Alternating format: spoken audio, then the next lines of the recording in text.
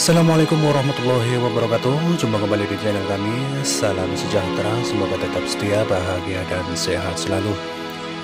Nah seperti biasa langsung saja untuk membersihkan waktu. Kami langsung saja mengajak Anda untuk menyaksikan konten video kami Dengan topik kunjungan ke tempat penjualan grosir handphone guys Atau lebih dikenal dengan ITC Roximas Yang berketepatan di jalan Kiai Hasim Ashari atau lokasinya tidak jauh dari Grogol ya guys. ITC Roximas adalah pusat grosir handphone beserta lengkap dengan aksesorisnya dan tak ketinggalan pula dengan service centernya guys.